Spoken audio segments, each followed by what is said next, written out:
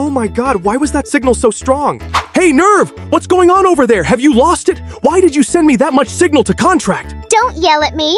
Ever since he stopped drinking enough water, I've been acting off. I don't even know what level of signal I'm supposed to send anymore.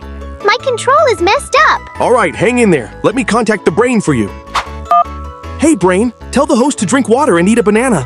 The nerve is acting off, the calf is overworked, and we need minerals and water. What? Where am I supposed to find a banana at 3 a.m.? Besides, I'm already asleep. We'll take a glass of water when we wake up. Stop waking me up. Huh? Whoa, what's happening? Ah!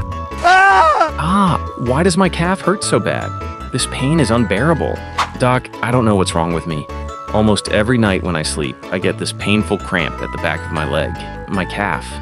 What is actually causing this? You're experiencing a nighttime leg cramp.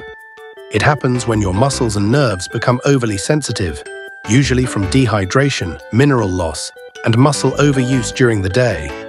When your body is low on water, potassium, magnesium, or calcium, the nerve misfires and sends an abnormally strong signal.